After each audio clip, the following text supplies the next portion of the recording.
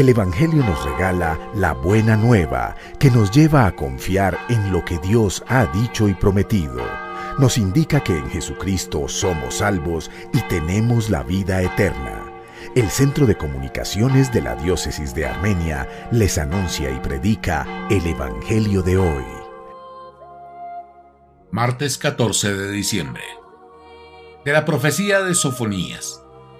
Esto dice el Señor hay de la ciudad rebelde, impura, tiránica. No ha escuchado la llamada, no ha aceptado la lección, no ha confiado en el Señor, no ha recurrido a su Dios. Entonces purificaré labios de los pueblos, para que invoquen todos ellos el nombre del Señor y todos los sirvan a una. Desde las orillas de los ríos de Cus, mis adoradores, los deportados, traerán mi ofrenda. Aquel día ya no te avergonzarás de las acciones con que me ofendiste, pues te arrancaré tu orgullosa arrogancia, y dejarás de engreírte en mi santa montaña. Dejaré en ti un resto, un pueblo humilde y pobre, que buscará refugio en el nombre del Señor. El resto de Israel no hará más el mal, ni mentirá, ni habrá engaño en su boca. Pastarán y descansarán, y no habrá quien los inquiete. Palabra de Dios. Te alabamos, Señor. Si el afligido invoca al Señor, Él lo escucha. Bendigo al Señor en todo momento. Su alabanza está siempre en mi boca. Mi alma se gloria en el Señor. Que los humildes lo escuchen y se alegren. Si el afligido invoca al Señor, Él lo escucha. Contempladlo y quedaréis radiantes. Vuestro rostro no se avergonzará. El afligido invocó al Señor él lo escuchó y lo salvó de sus angustias. Si el afligido invoca al Señor, Él lo escucha. El Señor se enfrenta con los malhechores para borrar de la tierra su memoria. Cuando uno grita, el Señor lo escucha y lo libra de sus angustias. Si el afligido invoca al Señor, Él lo escucha. El Señor está cerca de los atribulados, salva a los abatidos. El Señor redime a sus siervos, no será castigado quien se acoge a Él. Si el afligido invoca al Señor, Él lo escucha tomado del capítulo 21, versículos 28 al 32 del evangelista San Mateo. En aquel tiempo dijo Jesús a los sumos sacerdotes y a los ancianos del pueblo, ¿qué os parece? Un hombre tenía dos hijos. Se acercó al primero y le dijo, Hijo, ve hoy a trabajar en la viña. Él le contestó, no quiero. Pero después se arrepintió y fue. Se acercó al segundo y le dijo lo mismo. Él le contestó, voy Señor, pero no fue. ¿Quién de los dos hizo lo que quería el Padre? Contestaron, el primero. Jesús les dijo, os aseguro que los publicanos y las prostitutas os llevan la delantera en el reino de Dios. Porque vino Juan a vosotros enseñándoos el camino de la justicia y no le creísteis. En cambio los publicanos y las prostitutas le creyeron y aún después de ver esto, vosotros no recapacitasteis ni le creísteis. Palabra del Señor, gloria a ti, Señor Jesús.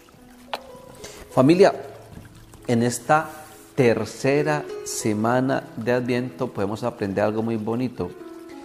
En esta tercera semana de Adviento podemos aprender qué es esperar cristianamente. Esperar cristianamente no es resistir, no es resignarse, no es aguantar. Esperar cristianamente no es mirar el reloj. Esperar cristianamente es hacer una lectura profunda de lo que está pasando en nuestra realidad, así como Jesús les enseñó a los discípulos a leer los signos de los tiempos. En el Evangelio de hoy Jesús dice que cuando vino Juan a mostrar el camino de la justicia, no le creyeron. ¿Qué significa esto? Aquí hay una nueva enseñanza sobre la esperanza, porque muchos no están abiertos a la esperanza de Dios, pero otros sí están abiertos a la esperanza de Dios. Jesús en el Evangelio lo que nos está diciendo leyendo los signos de los tiempos es que hay algo que impide radicalmente la acción de Dios en nuestra vida y es la arrogancia. El arrogante es aquel que se apoya en sí mismo.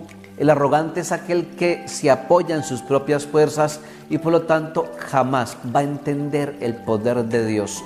El arrogante camina hacia su propia ruina. ¿Por qué? Porque cuando llegue una enfermedad, porque cuando llegue un fracaso afectivo, cuando llegue una pérdida económica, cuando llegue la traición de los amigos, cuando llegue la muerte, no nos podremos apoyar en nosotros mismos. Pero además, Jesús en el Evangelio dice que los publicanos y las prostitutas llevan la delantera en el reino de Dios. ¿Qué significa esto? Que si esos despreciados, porque no haya gente más despreciada en la sociedad, o sea, la gente más despreciada en la sociedad en la época de Jesús eran los publicanos y las prostitutas. Entonces, si esos despreciados llevan la delantera en el reino, es por una sola razón. Acogieron el mensaje de arrepentimiento de Jesús, del Señor. Es decir, Jesús lo que nos está diciendo es que la predicación de Juan, que fue la predicación sobre el arrepentimiento y la conversión, es lo que da la delantera en el reino de Dios. Jesús nos está diciendo que si queremos que Él reine en nuestra vida, tenemos que ver una verdad que hay en nosotros, una verdad que denuncia nuestro pecado, una verdad que nos lleva al arrepentimiento, lo que da la delantera a los publicanos y a las prostitutas en el reino es la capacidad de arrepentimiento.